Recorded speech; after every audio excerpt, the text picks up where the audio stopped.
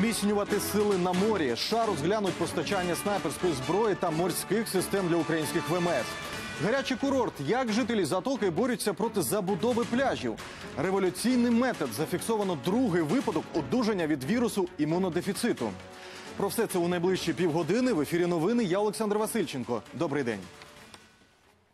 Російські найманці знову застосували артилерію на сході країни. Найбільше обстрілів із важкого озброєння на Приазов'ї. Окупанти били по Лебединському, Водяному та Широкиному. На Луганщині в районі Кримського вели вогонь із мінометів. На Донецькому напрямку зі стрілецької зброї. Двох українських бійців поранено. Загалом за добу сім обстрілів. Вогнем у відповідь армійці знищили одного бойовика. Сьогодні вночі ворожих атак не було. США розглянуть можливість постачання снайперської зброї та морських систем для українських ВМС. Про це заявив верховний головнокомандувач об'єднаних збройних сил НАТО в Європі генерал Кертіс Скапароті. Він зазначив, що Україна чудово впоралася з навчанням експлуатації протитанкових комплексів Джевелін. А після російської агресії на Азові країні також необхідно зміцнювати свої сили на морі. Скапароті певен, що НАТО допоможе Україні відновити флот. Захоплених Росією українських моряків хочуть скерувати на психіатричну експертизу. Про це повідомив адвокат Микола Полозов у своєму Фейсбуці. За його словами, напередодні під час слідчих дій морякам Сергієві Цибізову, Романові Мокряку та Юрієві Без'язичному озвучили постанову про необхідність такої експертизи. Захист заявив, що третя Женевська конвенція про поводження з військовополоненими не передбачає жодних психіатричних експертиз. Ані сім'я, ані адвокати не знають місця перебування політв'язня Володимира Балуха. Про це його родичі повідомили Кримську правозахисну групу. Станом на 24 лютого було відомо, що українця доправили у СІЗО Армавіра Краснодарського району. Його захисниця Ольга Дінза розповіла, що Балуха планують перевести в одну з колоній Твері. У кримській правзахисній групі наголошують, що етапування політв'язня порушує статтю Женевської конвенції, яка забороняє переміщення жителів окупованих територій до країни-агресора.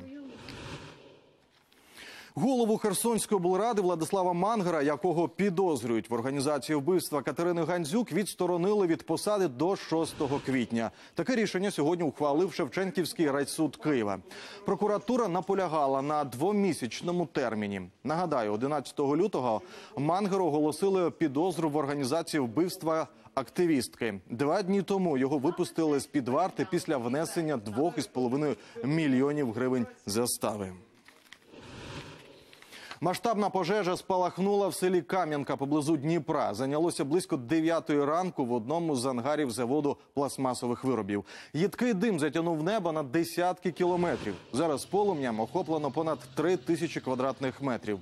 Із ним борються більше як півсотні рятувальників, 10 пожежних машин. Інформації про постраждалих немає. Наші журналісти виїхали на місце події. Тож більше дізнаєтесь у наступному випуску. А на Рівненщині спалахнув пасажирський потяг. Приміський дизель Сарни з Долбунів зайнявся поблизу села Немовичі. У ньому їхали сотні пасажирів. На щастя, ніхто не постраждав. І ще до прибуття вогнеборців люди самостійно залишили вагони. Свідки розповідають, полум'я поширилося з кабіни машиніста, потім перекинулося на перший вагон. Вогонь гасили понад дві години, залучили і пожежний потяг. Однак вагон і тепловоз вигоріли майже вщент. Причини займання встановлюють. У Яремчі горів реабілітаційний центр. Підпалили його навмисне під час спільних українсько-польських навчань. Пожежники одразу трьох західних областей разом зі своїми польськими колегами відпрацьовували навички боротьби з вогнем у гірській місцевості. Як усе відбувалося, бачили мої колеги. Околиця Єремче в котельні поруч із реабілітаційним центром лунає вибух. Приміщення обвалюється, спалахує пожежа, яка вмить перекидається на чотириповерхову будівлю. У вогняній пастці опиняється кілька десятків пацієнтів центру. Пожежа із потерпілими вигадана історія, яка є частиною спільних українсько-польських навчань. Серед учасників рятувальники з Івано-Франківської, Закарпатської, Львівської областей та з Підкарпатського воєводства. Наші взагалі території Карпатського регіону вони е, дуже насичені об'єктами інфраструктури туристичної. При ліквідації пожеж на даних об'єктах дуже виникає багато проблем, а також е, різних факторів, які слід враховувати при ліквідації пожеж. Тому е, саме на них ми звертаємо увагу при навчанні. За минулий рік тільки в Яремчі сталося майже 90 пожеж. Ось ці кадри зняті у грудні минулого року. За два дні тут горіли відразу два готелі. Одна людина загинула. Головна проблема в такій місцевості, кажуть вогнеборці, важкодоступність об'єктів. Щоб дістатися до них, задіюють пожежні машини підвищеної прохідності.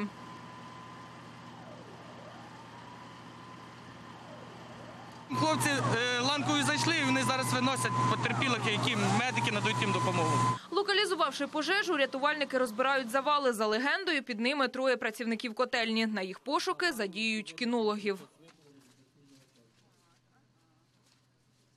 Вогнеборці результатами навчань задоволені. Звичайно, що е, задоволений, але є питання, над якими ще треба працювати. Будемо працювати саме над взаємодією і злагодженістю між рятувальниками. Високо оцінили роботу українських надзвичайників і польські колеги. Під час навчань ми побачили зорганізованість, злагодженість усіх дій, якість роботи українських рятувальників справді на високому рівні. Такі спільні навчання в Івано-Франківській області проводили уперше в рамках міжнародного проекту. Їх передбачено кілька. Наступні відбудуться у Закарпатській, Львівській областях та в Польщі. Юлія Касян, Жанна Дудчак, Зиновій Автонас. Новини телеканал Інтер. Івано-Франківська область. Календарна весна на Черкащину прийшла разом із великою водою. Понад сотня домогосподарств у селі Свидівок уже постраждали від підтоплення. Місцями ґрунтові води залили підвали та погреби. Вода стоїть навіть на городах. Причину такої ситуації місцеві жителі вбачають у забрудненні дренажної системи. Обласний водогосп, на балансі якого перебуває канал, не розчищав його 30 років. Уже більше тижня погріб у дворі пані Тетяни нагадує ставок. Жінка каже, минулого року води у погребі стояло по пояс. Зараз вже сантиметрів 20 набігло. Але відлига тільки почалась. Це вже під наверхи пішло, а це не води. А городу не поховали всю? Не, не затопило? Поки, поки ні. Поки в тому році Вони ж підняті на виносили. ступеньках. Чи це на кирпичах, але воно, бачите, Від підтоплення в селі вже постраждало більше ста дворів. У сільраді розповідають, минулоріч вода накоїла лиха у 300 домоволодіннях. Тоді районні чиновники навіть оголосили у Свидівку надзвичайну ситуацію. Обіцяли почистити дренажну канаву. Однак село знову у воді, а система водовідведення і досі у занедбаному стані. Вони не вважають, що це надзвичайна ситуація, не вважають, бо це дворів мало натоплено. Але е, я вам кажу, 40 років не чищені ці канави 40 років, розумієте? Дренажна канава перебуває на балансі обласного водгоспу. За нормативами її мають чистити щонайменше раз на 8 років. Після минулорічного потопу Свидівок просив передати гідросистему на баланс села. Водгосп відмовив. Проте для належного утримання дренажної системи у регіонального офісу водних ресурсів грошей немає. Хоча там запевняють, не раз просили профільне міністерство профінансувати розчистку каналу. От ми звертаємося да, з листами е, про виділення коштів, але кошти не виділялися. Тому е, саме лівобережне управління водних ресурсів не має можливості, не має його коштів для того, щоб е, цю роботу виконати. Від безвиході сільрада Свидівка самотужки профінансувала виготовлення проектної документації на розчищення 24 кілометрів дренажного каналу. Виділили майже 300 тисяч гривень. Проект вже навіть пройшов експертизу. З цими документами Водгосп знову проситиме кошти у міністерства. За кошторисом на роботи потрібно понад 13 мільйонів гривень. Станіслав Кухарчук, Павло Тимошенко, телеканал Інтер, Черкаська область. Жителі селища Затока на Одещині борються проти забудови пляжів і звинувачують у заангажованості правоохоронців. Мовляв, вони лише на словах розслідують правопорушення. Подробиці далі в сюжеті. Жовтень 2018-го селищна рада Затоки. Спочатку тут відбулися так звані громадські слухання, на які місцевих жителів не пустили тітушки. А вже через кілька днів на таємній сесії депутати затвердили детальний план території Самое хорошее, чистое место хотят и застроить. А если застроят это, ни дети, никто туда пройти не смогут. Потому что это будет быстрее всего, что это будут базы отдыха большие, пятиэтажные, четырехэтажные. Люди перекривали траси, пікетували держустанови, але марно. Їм навіть не надали рішення скандальної сесії. Відбувалася вона під керівництвом В'ячеслава Бокія, секретаря селищної ради. З минулої п'ятниці ми намагалися зв'язатися з ним, аби записати інтерв'ю. Але де чиновник не знає навіть помічниця. Ви сьогодні телефонували, так? Так. І що який результат? Я вам кажу, що немає зв'язку. Що це була за сесія, що восени почала розслідувати прокуратура за статтею зловживання службовим становищем. Минуло п'ять місяців, але у слідчих жодних результатів кажуть обурені жителі затоки. Тим часом, за їхніми даними, у лютому селищна рада знову збиралася на таємну сесію, де вже почала реалізовувати той самий план. 20 числа была проведена сессия, об этом никто не знал. Значит, э, что там решалось? Решалась прибрежная территория, раздавались земельные делянки, уже идет кэш, и все довольны. У Білгород-Дністровській прокуратурі запевняють, слідство триває, але подробиці розголошувати не мають права. Мовляв, потрібно вилучити та вивчити багато документів, які передували сесії. Мають також допитати депутатів, які брали участь у засіданні. А з цим є певні проблеми. Хто відсутній за місцем проживання, хто відсутній навіть е, ну, на території України, підозру наразі нікому не оголошено у кримінальному провадженні, оскільки тривають ще слідчі дії. Тим часом жителі затоки скаржаться на беззаконня, що панує у селищі. Ті ж самі тітушки, які блокували у жовтні громадські слухання, тепер почали нападати на місцеві бази відпочинку як бойове крило селищної ради у спірних земельних питаннях. Днями молодики розгромили кілька таких об'єктів. Андрій Анастасов, Ігор Міханошин, телеканал Інтер, Одеська область. Підробка документів і штамп придатний до служби. На Рівненщині армійський скандал. Призовник із хронічними хворобами стверджує, що документи про його військову придатність фальшували у місцевому військоматі. Чоловіка призвали, але служити він не зміг. Подробиці розкаже Сніжанна Сидорук. 26-річного Богдана Шевчука з Острога призвали до армії на початку жовтня 2018-го. Відслужив у війську він всього три місяці. Вся моя служба заключалася, по-моєму, днів 15-16 в частині. Собрати з полігоном сісти все кучі, тобто не рахуючи санчасті. Приніс бронхіт, плімонію, це все. Богдан і досі не може зрозуміти, як опинився в армії. Напередодні призову йому встановили діагноз – хронічний бронхіт.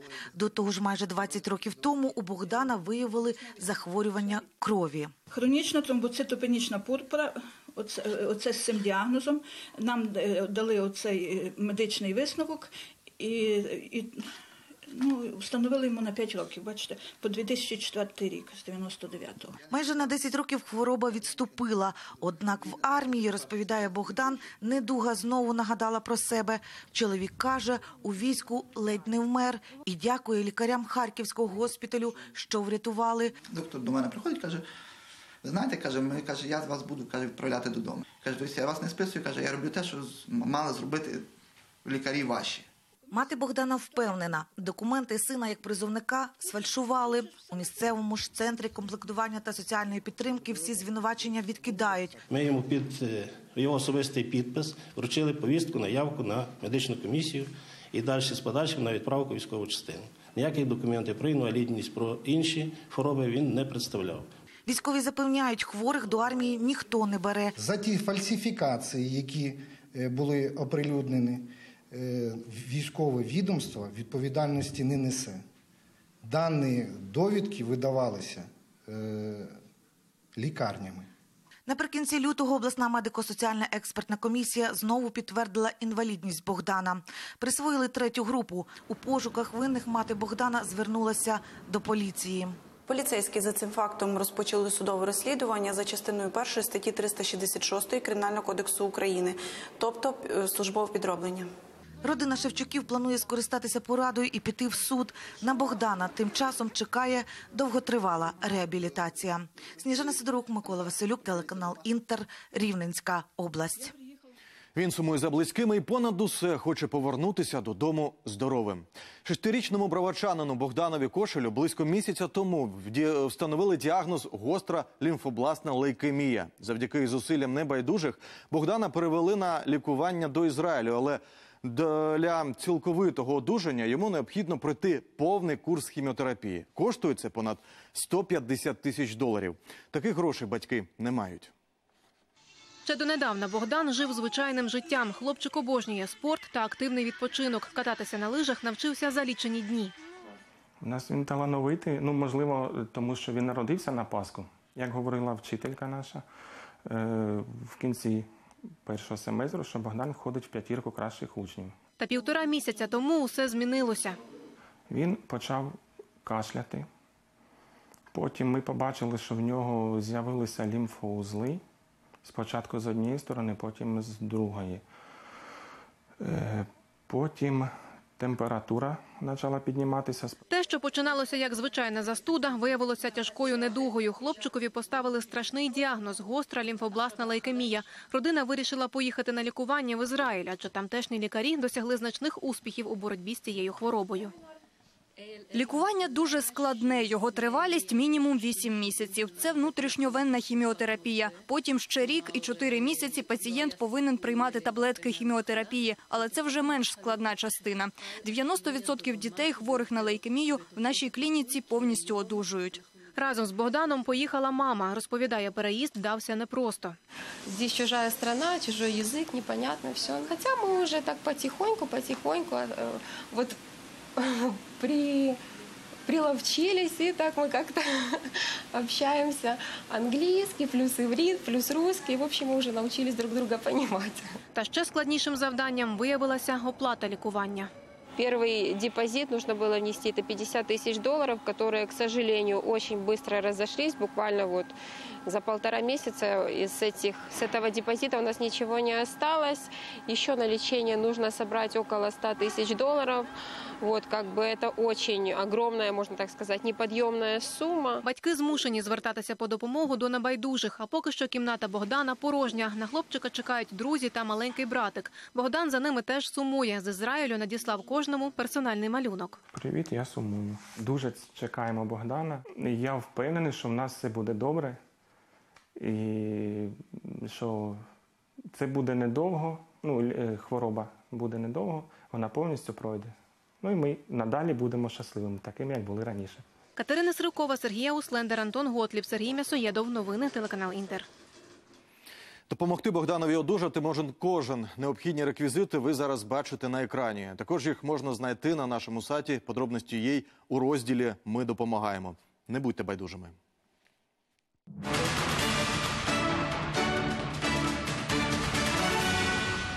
54 країни визнали законним лідером Венесуели самопроголошеного президента Хуана Гуайдо. Дані американського держдепу оголосив заступник речника департаменту Роберт Паладіно.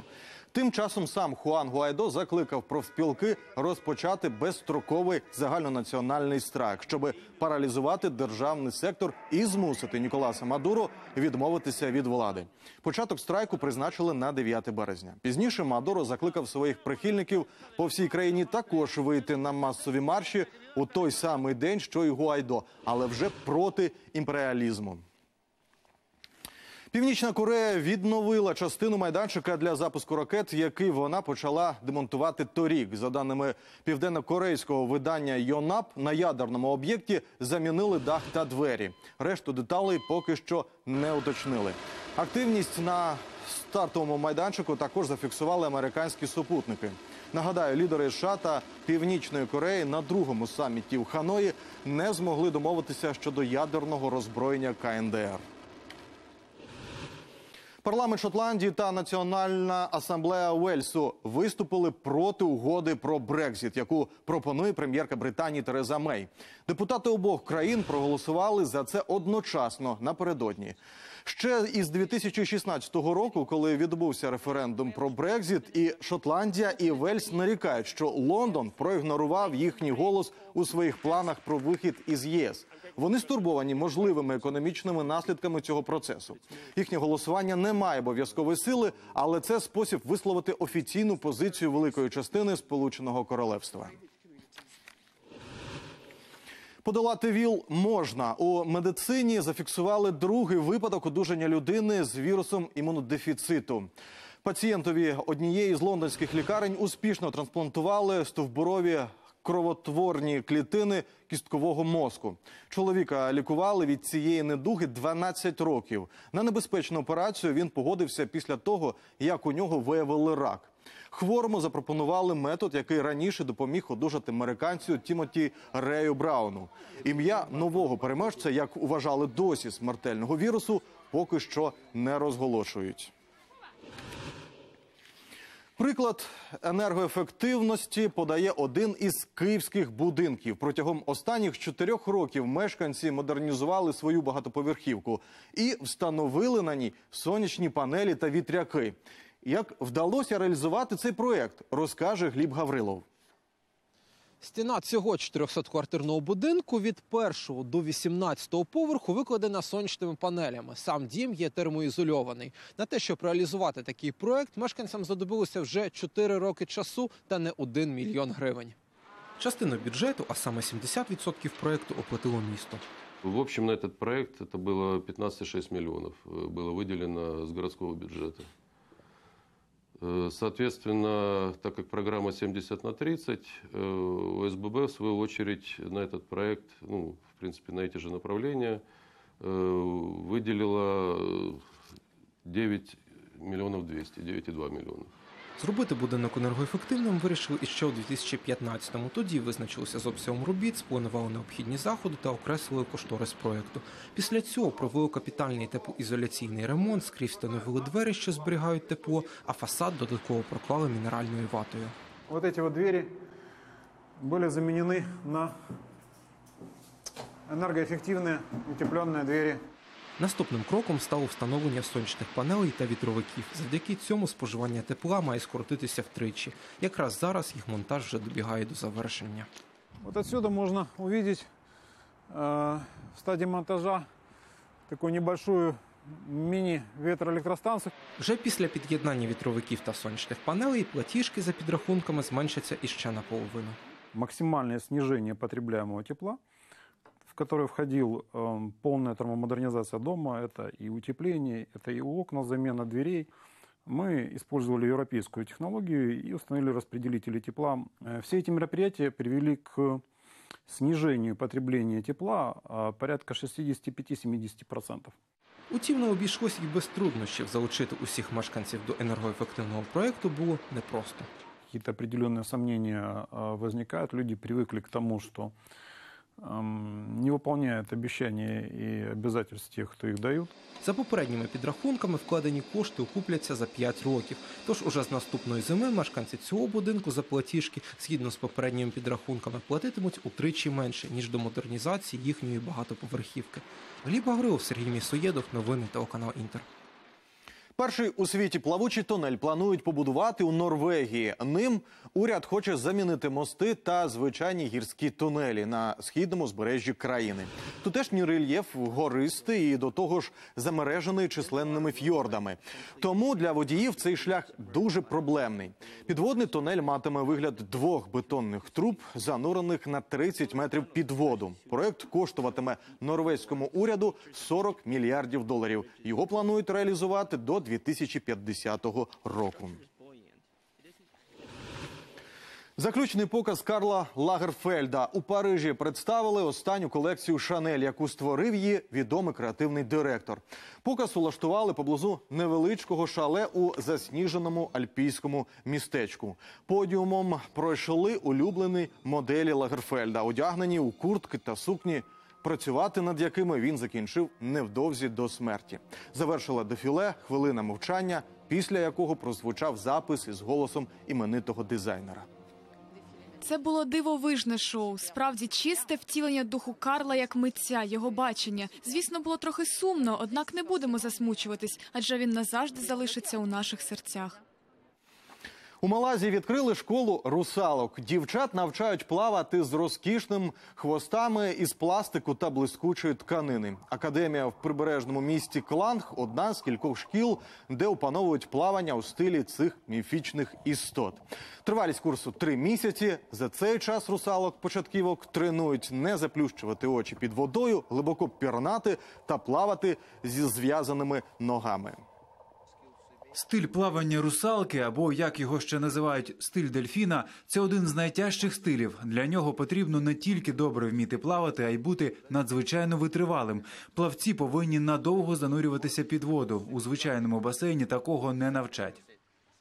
Такі новини на цю годину. Перші підсумки дня о 17.40 підіб'є Олексій Фадієва. Я прощаюсь з вами до завтра. Побачимось на інтері.